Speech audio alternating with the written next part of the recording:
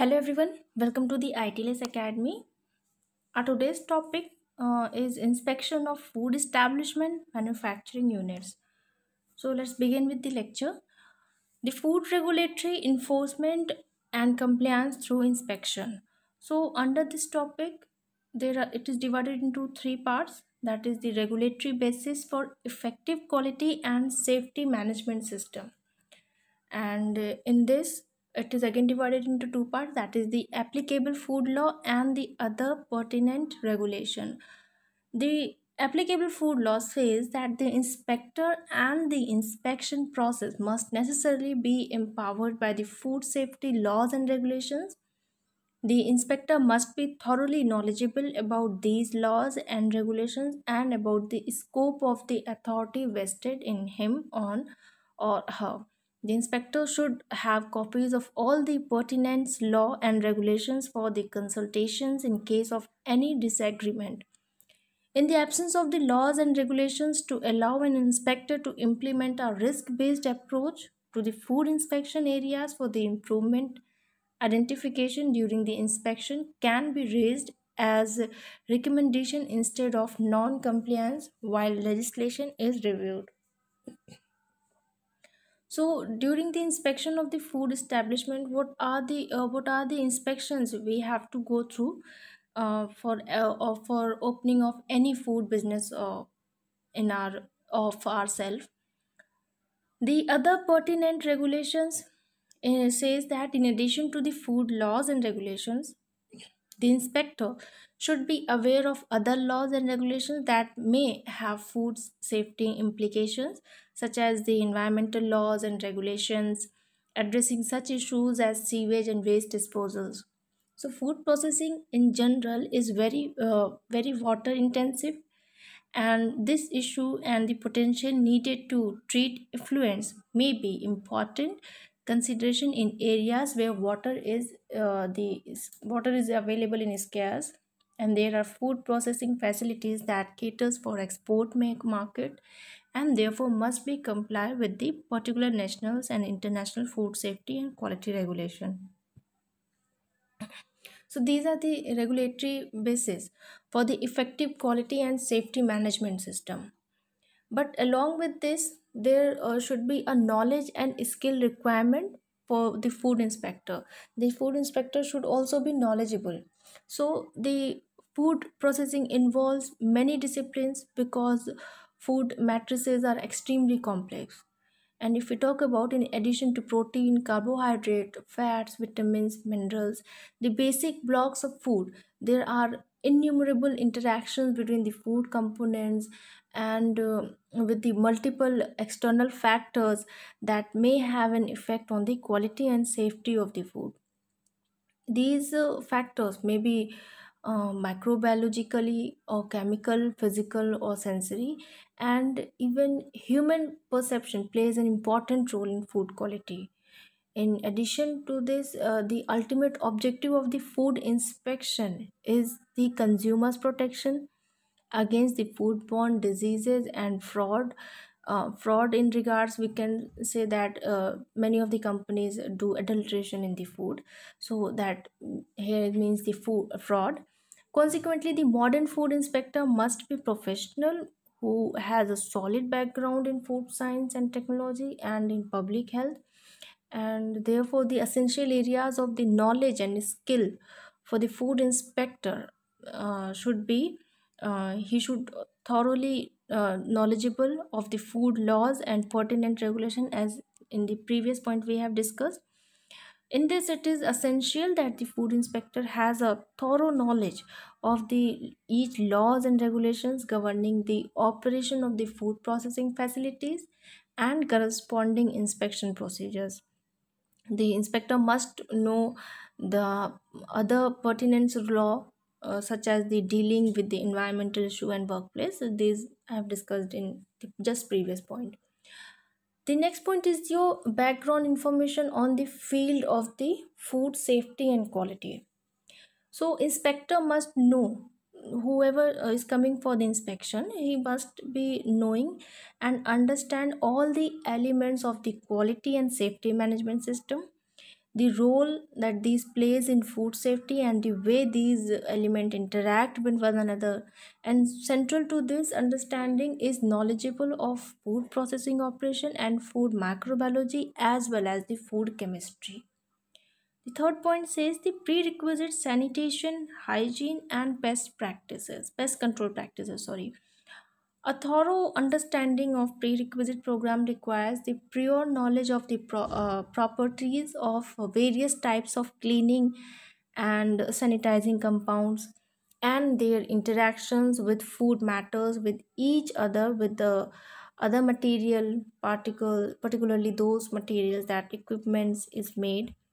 Uh, Moreover, it is important that the inspector is aware of the characteristics of the effect of sanitizing compounds on the target bacterial group and the accepted limits for the residual of such compounds in the food.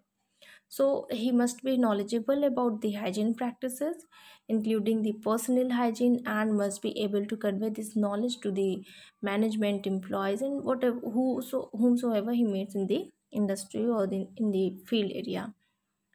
Next is your HACCP principle. Although this HACCP principle I have discussed it through so many times, although this topic does not specifically cover the hazard analysis critical control point system, the HACCP approach is risk based and its elements are helpful to use during an inspection. As such, it should be thoroughly understood by the inspector. Furthermore, the inspector should uh, use the inspections as an opportunity to promote the hazard to the business. Ideally, food inspectors will have taken courses and had been certified in the application of the hazard. And that is the must for the any inspector. Next, the fifth point is your inspection techniques. So, a food inspection, as approached by this topic, is a, a review of the food safety and quality aspects of a primary processing operation or, uh, or a food processing facility. It is expected that the topic will provide the inspector with uh, sufficient insight into inspection technique to properly fulfill his or her task. Next is your sampling techniques for the product testing. Knowledge of sampling techniques, particularly aseptic techniques, and of sample handling for transportation to the laboratory are essential to guarantee the integrity of the samples taken for veri- verification. The inspector must have the good knowledge of testing techniques so that uh, he could able to make informed decision about uh, uh, sampling methods and properly interpret the result of the testing. Next is your compliance verification skill. So, beyond academic and practical knowledge of the food regulation and food processing and food microbiology chemistry, it is essential that the inspector have sufficient professional experience and criteria to be able to focus on inspection on the truly important factors affecting the food product safety, the risk factor associated with the foodborne diseases. Next is your communication and other skill. The food inspector must also possess good communication skill to enable to uh, him or her to adequately convey technical and regulatory information regarding the safe food handling to the others. And he must have professionalism and confidence and exhibit dignity and integrity. Last topic is your original training certificate and required certificate update the food industry is in uh, constant change. New food processing technologies, new control, new equipments, and new ingredient constantly come onto the market, as do new testing methods. So the food inspector needs appropriate training and must have the diploma and certificate attesting to his or her professional standing and must attend certified continuing uh, education courses to stay up to date with the new development and new technologies. Mentoring of new inspection by experienced colleagues is highly desirable. The third part is your compliance and enforcement policy. In this, we first talk about the responsibilities. The food regulations are mandatory and must be complied with by the uh, processor and enforced by the inspector and food safety authorities in all cases. Because violations constitute offense failures by the inspector or the other food control authorities to enforce regulations at all times beside being illegal defeats the purpose of the having the food control system and promote non-compliance across the industry it would be unfair to demand compliance from one processor and not from the other. The inspector's primary responsibility is to protect the consumer by ensuring the compliance with the food safety law and regulation. Given that the public well being is the ultimate objective of the national food safety system. So, uh, producers and processors, in contrast, are in business to make a profit, and that priority may well impair that uh, perceptions of accountability to society. Therefore, it is also the inspector's duty to remind producers and processors of their responsibility to produce safe food. This message uh, can be made more relevant by explaining to food producers and processors that the safety of their products not only fulfill their responsibility towards the society sometimes that may seem idealistic and ethereal but may also determine in the developing their business. Next is your principle the modern food inspector must think of himself or herself as a reviewer of the food safety control measures and a contributor to their improvement. Control measures must individually evolve uh, the continuously in response to technological advances and to the establishments of own experience and as a part of what should be an equally evolving national food control system. Such improvement can also be very advantageous to the processor from the marketing standpoint and the product safety and quality are the characteristics that can be conveyed these masses to the food producer and processors. Creating awareness about the food safety and quality among food producers and processors is as important as element of the food inspections as verifying compliance with the regulations. So Cautions and counselings will be required if the food safety officer uh, on inspection identifies any contraventions of particular provision of the FSS Act by any food business operator. Then he can issue cautions to that food business operator stating the regulation to be followed for the contraventions and also counsel them for the various preventive and corrective actions to be taken for that contraventions. So the, these were the points that i've discussed about the food regulatory enforcement and compliance through the inspection. Next let's talk about the inspectional requirement for the food business operation. The establishment in which food is being handled processed manufactured packed stored and distributed by the food business operator and the person handling them should conform to the sanitary and hygienic requirement, food safety measures and other standards as specified in the next slide. So it shall also be deemed to be the responsibility of the food business operator to ensure adherence to the necessary requirement. In addition to the requirement specified in the next slide, the food business shall identify steps in the activities of the food business which are critical to ensuring food safety and ensures that the adequate safety procedures are identified, implemented, maintained and reviewed periodically. So, uh, to these points, the uh, what are the inspections? At which uh, steps inspections are required are here. First is the location and surrounding. Food establishment shall be located away from environmentally polluted areas and industries activities which produces disagreeable or obnoxious odors fumes excessive soot dust and smoke chemicals biological emissions and pollutants and which pose a serious threat to contaminating food areas subject to flooding areas prone to infestations of the pest and areas where waste areas prone to infestations of the pest and areas where waste either solid or liquid cannot be removed effectively.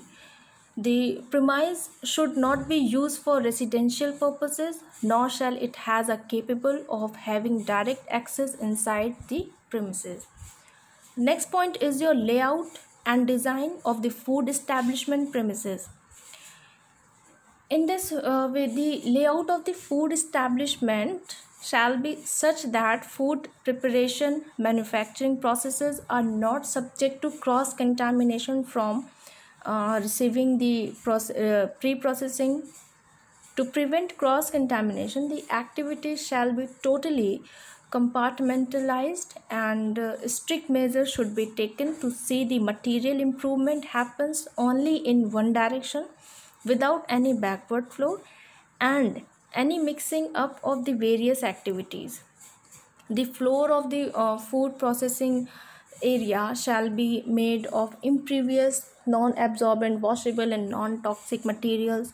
The wall shall be made of impervious, non-absorbent, washable and non-toxic material and requires a smooth surface easy to clean up to a height appropriate for the operation and wherever necessary disinfectant Ceiling and overhead fixtures shall be designed, constructed, finished and maintained so as to minimize the accumulation of the dirt, condensation and growth of undesirable molds and shedding of the paints or plasters particles.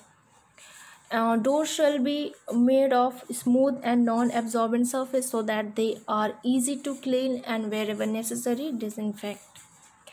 Next is your equipment Equipment and containers that come in contact with the food and used for the food handling, storage, preparation, processing, packaging, and serving shall be made of corrosion free material which do not impart any toxicity to the food material.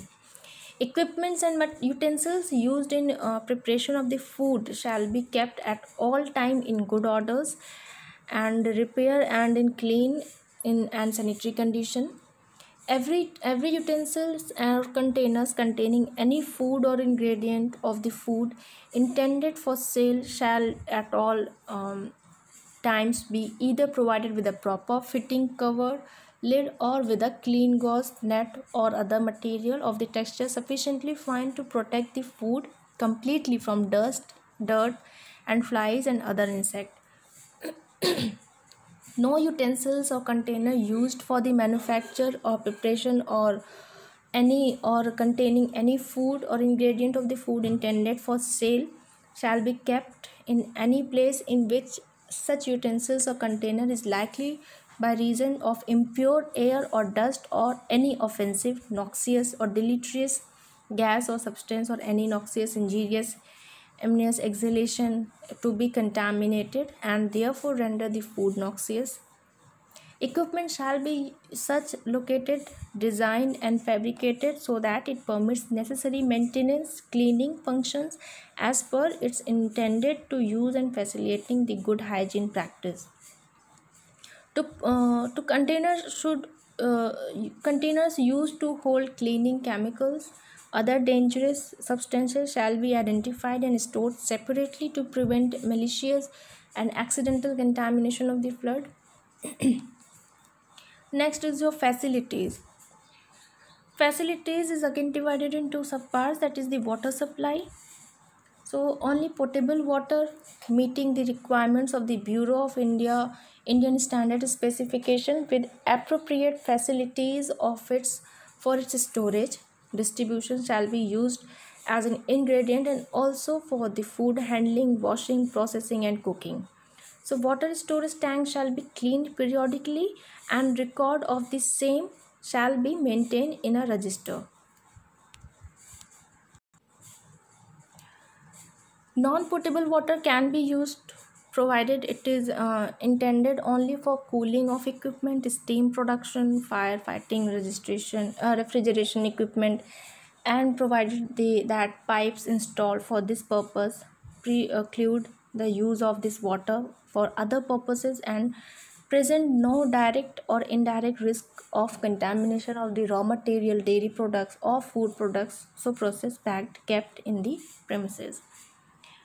Next is for cleaning utensils and what cleaning utensils and equipments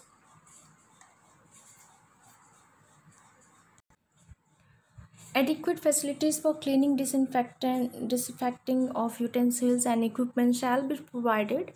The facilities must be an adequate supply of hot and cold water. Next is the washing of raw materials. Adequate facilities of washing of raw uh, food should be provided. All basins for washing food items must have an adequately supply of hot and cold water. Ice and steam used in uh, direct contact with the food shall be made uh, from potable water and and shall comply with the requirement. Ice and steam shall be produced handled and stored in such a manner that no contamination can happen. Next is your drainage and waste disposal. The disposal of sewage and effluent uh, shall be in conformity with the requirement of the Factory Environment Pollution Control Board. Adequate drainage waste disposal system and facilities shall be provided and they shall be designed and constructed in such a manner so that the risk of the contaminating food or the potable water supply is eliminated. Next is your personal fa uh, facilities and toilets. Personal facilities shall include adequate means of proper washing and drying of hands uh, before touching food materials including the wash basin and a supply of hot or cold water as appropriate. Separate laboratories of appropriate hygiene designs for male and female separately. And adequate changing facilities for personnel and such facilities shall be suitably located so that they do not open directly into the food processing handling and storage area next comes your food operation and control. So uh, food operation and controls includes the procurement of the raw material. No raw material or ingredient therefore shall be accepted by the establishment if it is known to contain parasites undesirable microorganisms pesticides veterinary drugs or toxic atoms and various other things in addition, the raw materials, the food additives and ingredients where applicable shall conform to the regulation and uh, laid down under the Act. Record of raw material, food additives and ingredients as well as their source of procurement shall be maintained in a register for the inspection. Next is your storage of the raw material and food. Food storage facilities shall be designed and constructed to enable food to be effectively protected from the contamination during storage, permit adequate maintenance and cleaning to avoid pest and accumulation. Next is your food processing, preparation, packaging and distribution services. This includes your time and temperature control also. The food business shall develop and maintain the system to ensure that the time and temperature is controlled effectively where it is critical to the safety and suitability of the food. Such control shall include the time and temperature of receiving, processing, cooking, cooling, uh, storage, packaging, distribution, and food service up to the consumers as applicable. Next is the food packaging. Packaging materials shall provide adequate protection for all the food products to the prevent uh, to prevent the contamination, damage, and shall accommodate required labeling as laid down under the uh, Food Safety System Act and regulation thereunder. Only food grade packaging material to be used and packaging material or gases where used shall be non-toxic and shall not pose a threat to the safety and suitability to the food. Next is the food distribution services. An appropriate supply chain need to be incorporated in the system to minimize the food spoilage during transportation process. Packaging uh, ready to eat food shall be adequately protected during the transportation or service. Next point is your management and supervision. A detailed standard operating procedure SOP to be developed for proper management which in turn would help in identifying any problem at exact point so the cause damage control would be faster. The food business shall ensure that the technical managers and supervisors have the appropriate qualifications adequate knowledge and skill on food hygiene principles and the practices to be able which shall enable them to ensure the food safety and quality of its product. Judge of the food uh, judge food uh, hazards take appropriate preventive and corrective action and to ensure effective monitoring and supervision. Next is your food testing facilities.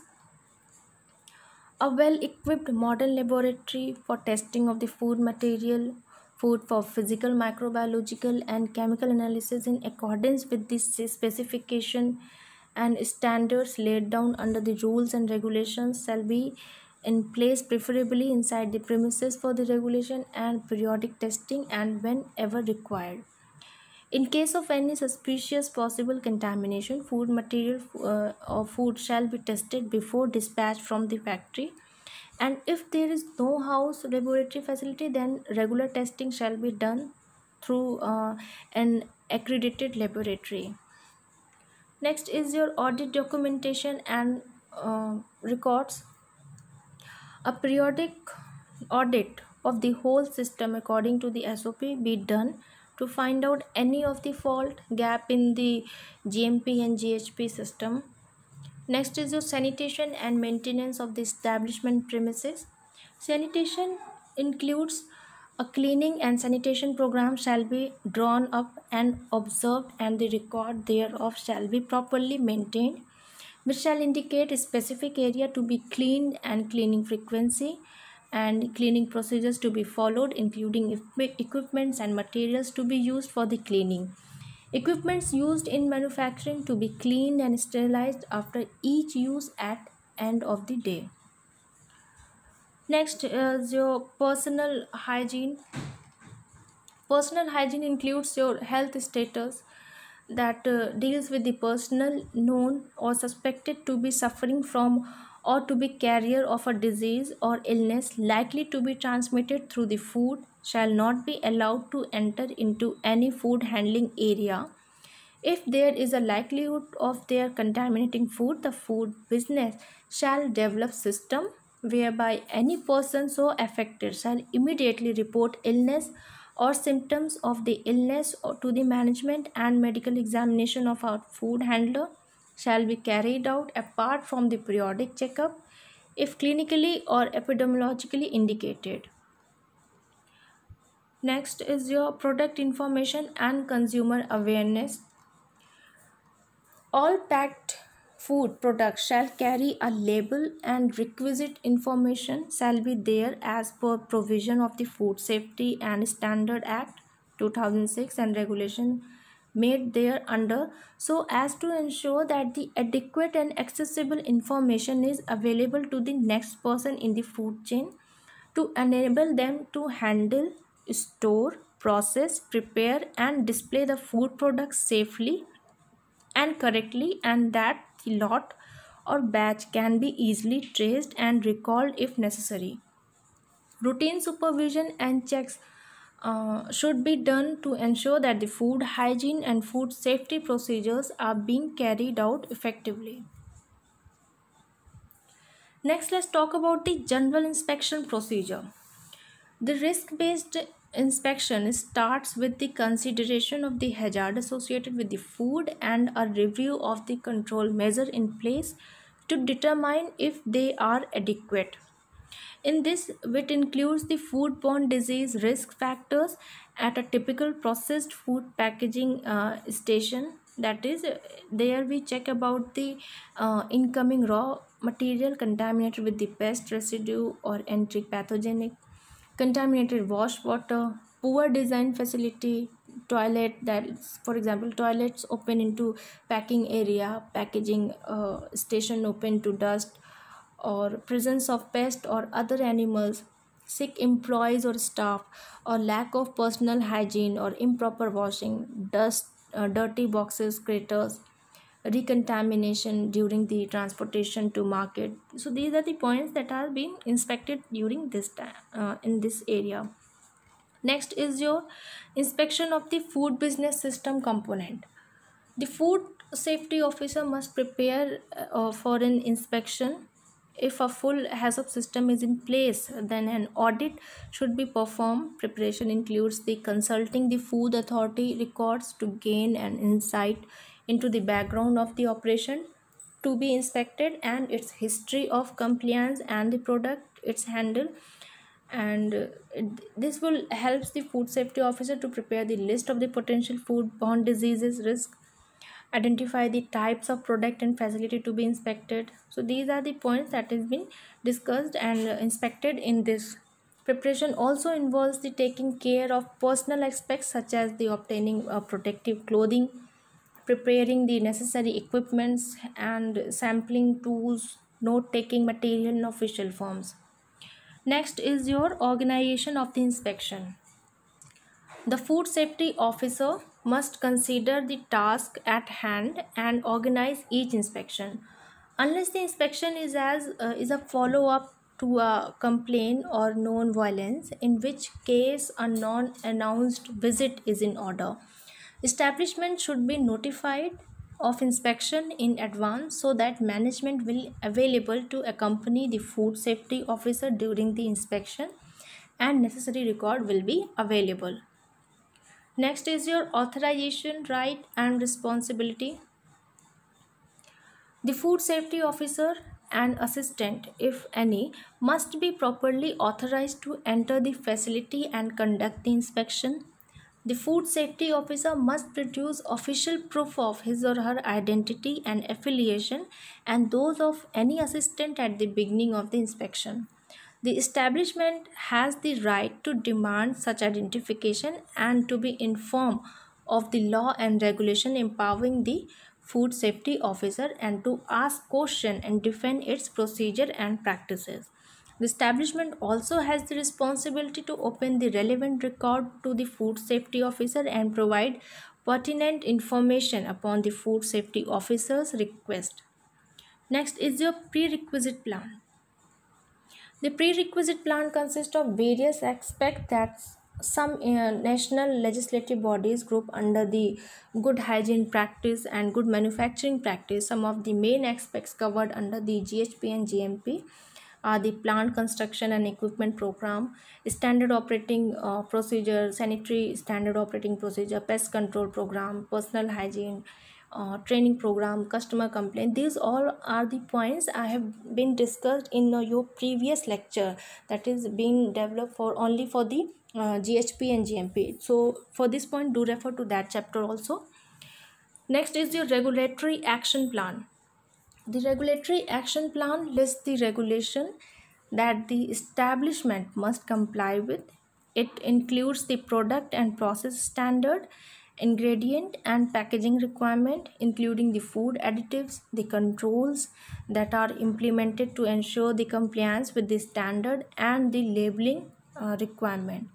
So it includes the product and process standard the ingredient and packaging material and labeling and next is your inspecting closing reporting and documenting documentation upon completion of the inspection the food safety officer and establishment management should have a closing meeting to discuss any non-compliance finding and discuss a possible way of improving the process, gather any missing, missing information and answers the management questions.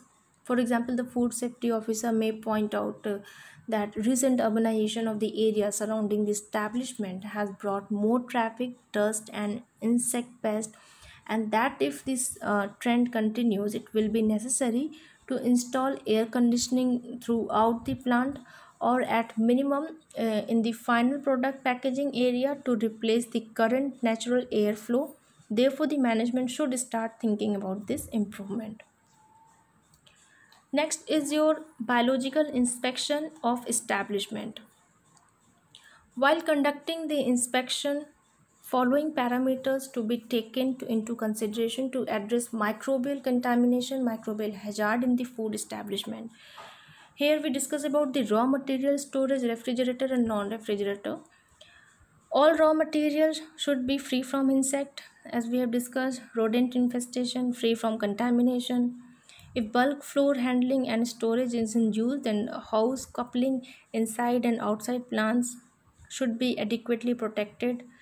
Dust collector ventilation should be uh, properly uh, properly planted. The microbial load of all the food items like uh, raw food vegetables liquid milk etc should be within the acceptable limits depending on the nature of the food adequate facilities should be available storing refrigerated frozen foods monitoring food temperature controlling ambient temperature humidity. Uh, in case of grain storage fumigation should be done.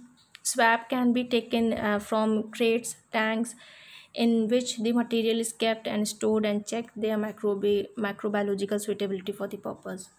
Next is your manufacturing area all piece of the food contact equipments dough mixture conveyor rounders uh, and etc should be clean and in good repair. All the equipments and the surrounding should be free from evidence rodent and insect activity. Temperature of proofing equipments oven retort heat exchanger should be maintained.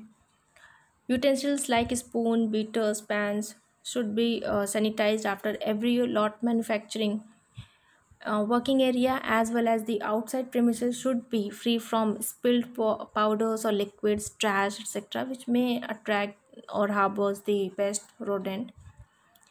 Uh, swab of the machine working tape table, tables utensils food contact surfaces should be taken at regular intervals to ensure that any and their microbial safety for the food safe food safety food use. Air contamination should be adjusted uh, adju- adjust by checking the microbial quality of the air. Antiseptic disinfectant food bath should be provided at the entrance of the plant. Next is your packaging and storing of the finished product. Packaging material uh, should be kept and stored under hygienic condition. Packaging material bottles closures should be sanitized before use all the products should be labeled according to the food labeling act. Immediately after the packaging proper labeling the product should be placed in the room provided for the store. Temperature and relative humidity of the storage area should be maintained to optimum level required. Next is your personal hygiene. Personal hygiene is related to your health status. So uh, personal known suspected to be suffering from to be carrier or a disease illness likely to be transmitted through the food shall be allowed to enter shall not be allowed sorry shall not be allowed to enter into any of the food handling area if there is likelihood of their contaminating food. The food business shall develop system whereby any person so affected shall immediately report illness or symptoms of the illness to the management and the medical examination of the food handler should be carried out. Arrangement shall be made to get the food handlers, employees, establishment medically examined once in a year to ensure that they are free from any infection. The factory shall, staff shall be compulsorily inoculated against the enteric group disease once a year in case of any epidemic, all workers uh, to be uh, vaccinated irrespective of the yearly vaccination. Thank you for being with us. For more information, please log on to our website www.itlsacademy.com and register yourself for the particular course. You can also follow us on Instagram, Facebook, Twitter, WhatsApp, LinkedIn, and uh, yes, subscribe our channel ITLS Academy at YouTube. Thank you.